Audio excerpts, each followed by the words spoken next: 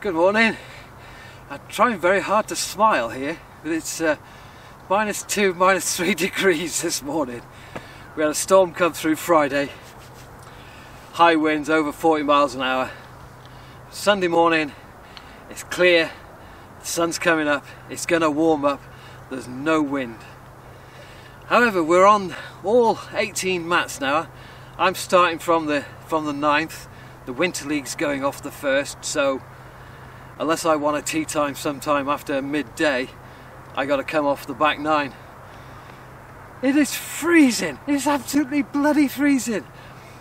We're going to be on temporary greens, so I ain't interested in the score today. I don't know how I'm going to hit the golf ball. I got my little heat pads to try and keep my hands warm. This is what we do in England in winter. Oh, crikey.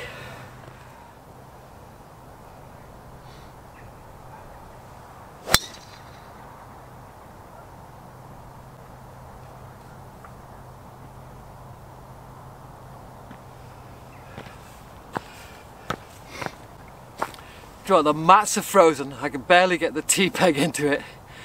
My hands are frozen.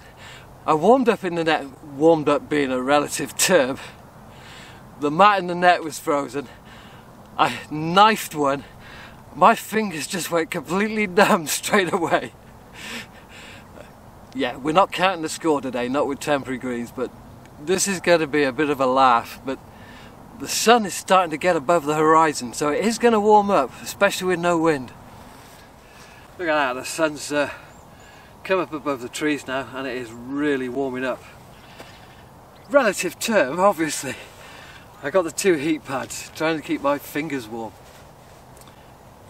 Now a few years ago somebody asked me why Thailand, why on earth do I go to Thailand? And to cut a long story short, I've since a kid I've been fascinated with the Far East. Japan in particular. The culture, the, the, the sort of sadomasochism of their culture. The way they love inflicting pain on people. And, and other bizarre things like um, the motorcycle gangs that ride around Tokyo and they obey the speed limit and they obey the traffic lights and it just seems to be the exact opposite of of what you would expect. So I've always been fascinated with the Far East. Now in 1990 I had a chance to go to Malaysia. I was going to go to the island of Penang for a holiday and I didn't go. The 12 hour flight kind of put me off and uh, I regretted it ever since that was the only time I think I had where I had a bit of money where I could actually go and do something. It was just before I moved house and I had a bit of, bit of money set aside and I could have had that holiday and I just didn't have it. Strange thing is, is if I had gone, I think it would have changed my life entirely to have gone to the Far East at age 25. Hell, I, I might even be, be married to a lady from the Far East who knows? So um, I didn't go. Now, while my wife and I were having kids, we couldn't afford for me to go and do anything golf-wise anywhere. So while all my mates at the golf club were having their long weekends in Portugal, which seemed to be drinking weekends as opposed to golfing weekends, that didn't really appeal to me. You know, going out there and drinking and sharing a room and me going to bed at half past ten because I want to play decent golf the following day and then someone coming in the room at 3am and pissing in my suitcase because he's so drunk. So I never fancied the standard long weekend in Spain or Portugal with the lads because I don't fit in. You know, I'm not a drinker. I'm somebody who wants to play golf and then go and explore. I want to see the, the part of the world that I'm actually visiting. I don't want to see the bar, the golf course, the bar, the golf course. And to be honest, I don't get a huge amount of enjoyment of getting drunk and throwing up either, so...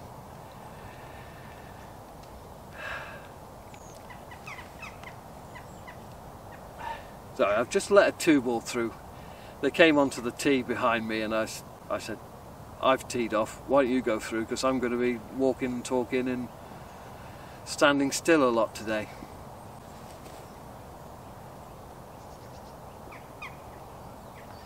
some strange reason they're going down the 8th instead of the 9th. Anyway, so uh, we'll play a bit of golf, we'll do a little bit of walking and we'll do a bit of talking and I will talk to you a little bit more about how I ended up in Thailand.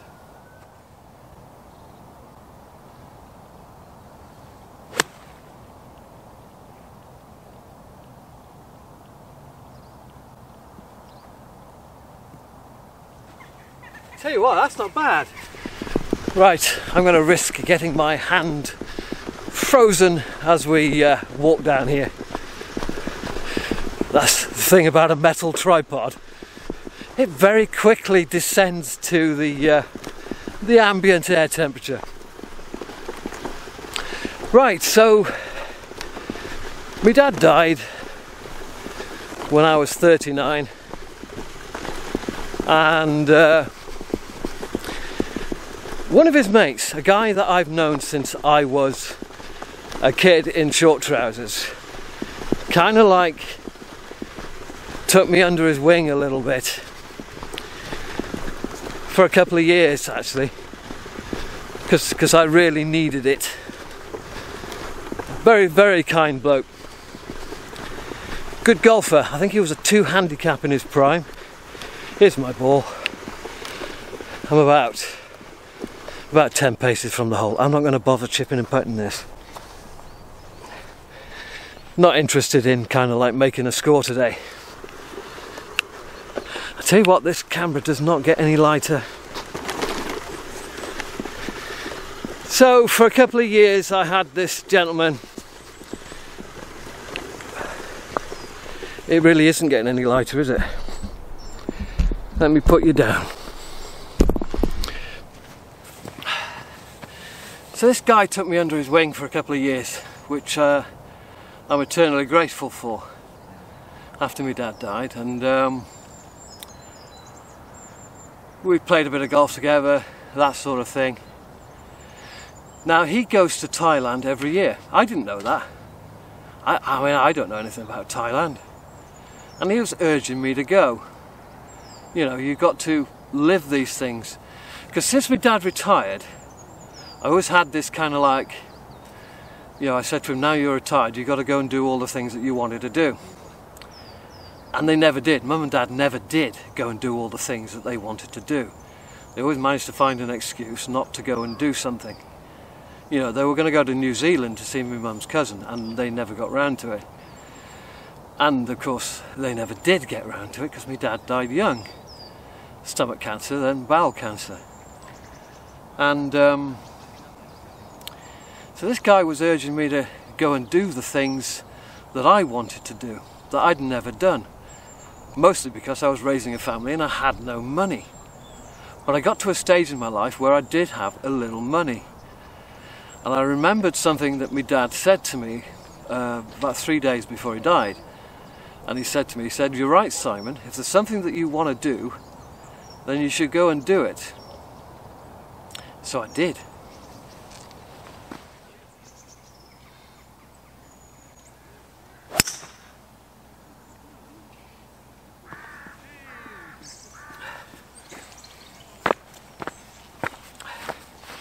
Yeah, I got proper metal spikes on and I'm still afraid of slipping. It's out there. It'll do for a Sunday morning when it's this cold.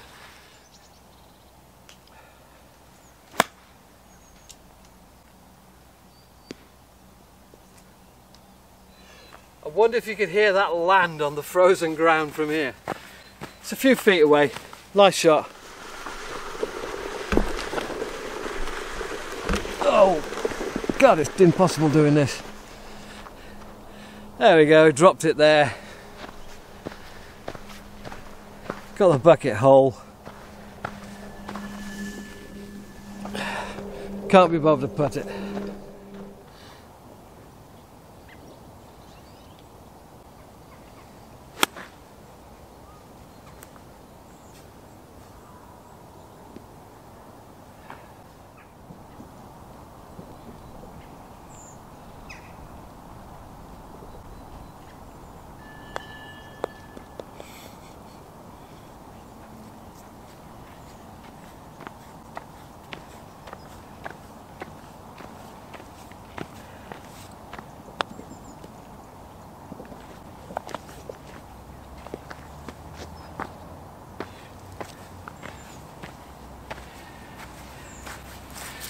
Yeah, it's frozen solid and with the bucket hole you can't miss. So this is why I just don't bother trying to make a score on temporary greens.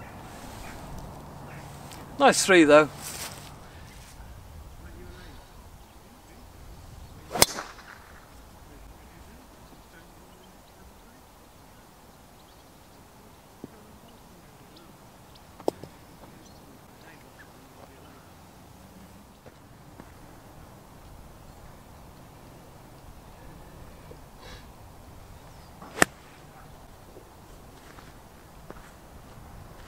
Can't see shit.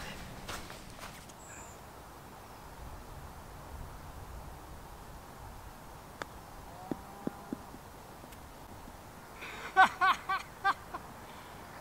dear.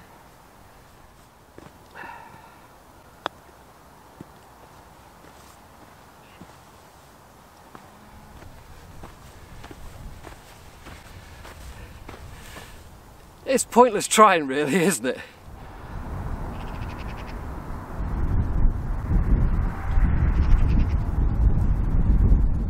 Right, so I've wandered up to uh, 13 now. The rest of the course is closed because of snow. Um, you can see it on the hills when it's it's out there in the fairway, it's on the 14th fairway. We might have a little wander around so I can show you that. But, uh, so getting back to the story. So my dad's mate who took me under his wing for a couple of years, he, um, he told me where to go, where to play, where to stay, what it was like. So, uh, you know, I'm a planner for a living, so I, you know, I do my research. So I had a really good look around the internet for a few months actually, trying to work out what to do and where to go. And then I put the proposal to my wife. Now we have a little rule in our house. My pay belongs to the house, but my overtime belongs to me. So if I want to do something extra of and above the normal sort of run-of-the-mill stuff. Then I got to do the overtime and that overtime pays for me to do what I want. So if I want a new set of irons I do the overtime. If I want new woods I do the overtime. Now I was in a position where I could have a golf holiday. And it was relatively cheap. That was the great thing about it. The exchange rate at that time with Thailand was was so good that it was as cheap as chips so I put the proposal to her. She only had one concern, and that one concern would be that I would be on my own. And if you've got Asperger's, that isn't a concern. Asperger's people spend a lot of time on their own. See what I mean? So um, I contacted this golf company in Thailand, felt out the land, got it booked, got it paid for. Now I got put with three Australians who were there with their wives. So Billy No Mates here had no problem because I was with three brilliant Australian guys. We had a ball for two weeks. I say they were with their wives, so there was it was it was a social. Our evenings were social as opposed to necking it, which suited me right down to the ground. And because they'd been before, they were able to show me bits and pieces which I hadn't considered. I got out and I saw parts of the countryside. So that first trip I only played six rounds of golf in two weeks. So there was loads of other things to do and to discover. And it was brilliant. And I keep going back to the same place. Another thing about uh, Asperger's and getting older is you become a creature of habit. So you end up going back to the same place. You've got the same hotel room. You've got the same room cleaner. You've got the same people on the desk. You've got the same guy driving the minibus who drove the minibus last year. So familiarity is very good for me. But now I'm spreading my wings. I'm going to start going to different places. But um, there's three things. There's always three things in an equation like a golf holiday like this. That is want, need and affordability. So I need a holiday. I want a golf holiday in the Far East. I'd love to go to Japan or Taiwan or the golf courses near the Great Wall of China. But that's where affordability comes in. So the reason why I keep going back to the same place is because I can afford it. Thailand is affordable. Singapore is not affordable. Taiwan is not affordable. South Korea is not affordable. China isn't affordable. Indonesia, well, the weather's too shit. It's, it's, it's too humid all the time. Plus, you've got earthquakes and volcanoes to mess around with. And, um, you know, China's unaffordable. Plus, there is the limit to what my body will allow me to do on an aircraft. You know, 12 hours in economy was not fun. I'll, I'll tell you that for free, it was not fun.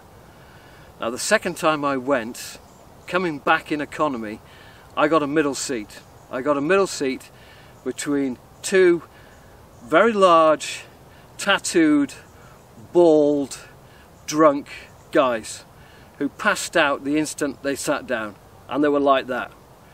Now it was, there was a strong wind coming home, so coming home it was 13 and a half hours. So I had a 13 and a half hours in economy like this. I had to eat like this. I couldn't get out for a pee. I asked if there was other seats that I could go to and there just wasn't. The flight was full. So I had 13 and a half hours like this between two fat, big, ugly, passed out blokes. They didn't wake up the entire flight. They, they were that drunk. They weren't angry drunk, fighting drunk. They were passed out drunk. So I couldn't get go for a pee. I couldn't do anything. So after that second trip, I said, I'm only ever going to go back if I can go in business class, which I now do. Of course, business class requires more overtime. I, I do about 25 Saturdays over a two-year period, so I go once every two years.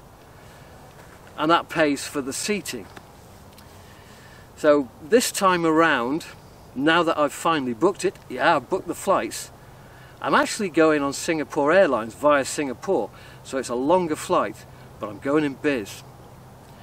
Now some airlines at the moment are, saying, well there's not much demand, countries might close their doors again, so we're going to put on a limited service of one flight a week and we will charge through the roof for it. Other airlines are going, hey, they've only put it on one flight a week. Let's put on a full schedule, we'll put it at a reasonable price and we'll attract all the business. And guess what? They're attracting all the business. So the other airlines who are putting on one flight a week are going, we haven't got any customers. Well, sort yourself out. Bring the price down, put on a schedule. Should I play this anyway? I mean, it's closed and there's snow out there, but we have a laugh?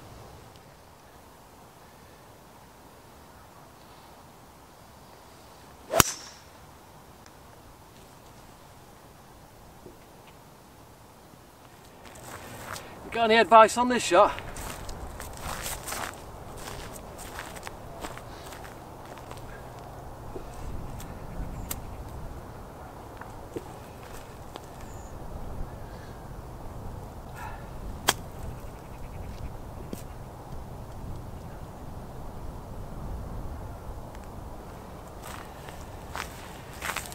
Yeah, I think that one turned into a snowball. It's about that diameter now.